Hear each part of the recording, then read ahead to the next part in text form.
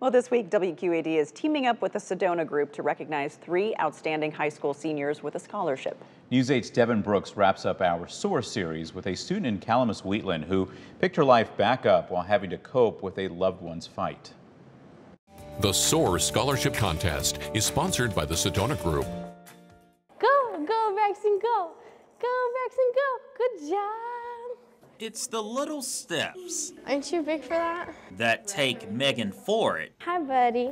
a long way. The babies behind me are some fun little kids that I get to hang out with every single day. She works at a daycare in Calamus Wheatland, Give me the ball. Good job. where elementary principal Ashley Kelting says, Megan has grown a ton. from a student to intern and now employee, Megan is caring, compassionate, dedicated. and active in and out of school, like being a leader in FFA to helping run her family's lawn mowing business. I, I love all of it. I mean, I, I wouldn't want to take anything off my plate. But she had to take time for herself before she started high school. Having to resituate my life because I lost my father, who I was his little girl, um, was very hard. Her father died of pancreatic cancer, leaving Megan with her brother and mother. A couple years ago, I, I definitely was worried. It was hard just trying to go day by day. You know, I,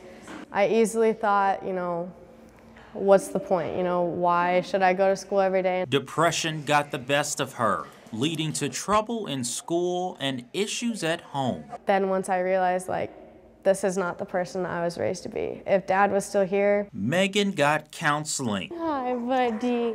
Oh. and the love she shows for everyone else. It's wonderful to see that um, what she's overcome. Megan remembered herself. On behalf of Sedona Staffing, we are very pleased to present Megan Forret with $5,000. That Megan, my sophomore year, and Megan I am today is two basically different people. When someone asks her to do something, she doesn't really say no because she knows when we needed it the most, people were there for us. Come here, Braxton. Because there's light Come here. at the end of the tunnel. Come on, buddy. In Calamus, Devin Brooks, WQAD News 8.